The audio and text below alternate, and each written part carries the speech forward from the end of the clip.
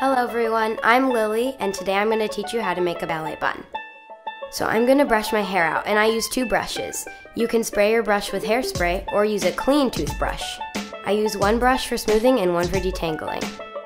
I use hairspray and hair gel and give it another good brushing. So I like to brush my hair out again and then I secure it with a hair tie. Two if you need extra hold. I'm combing it and using more hairspray.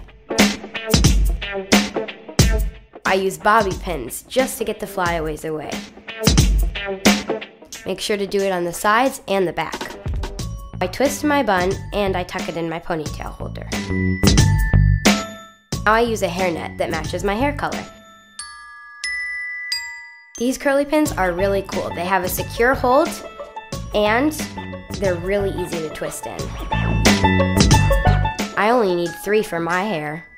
Give it a good shake. Now it's time for more pins.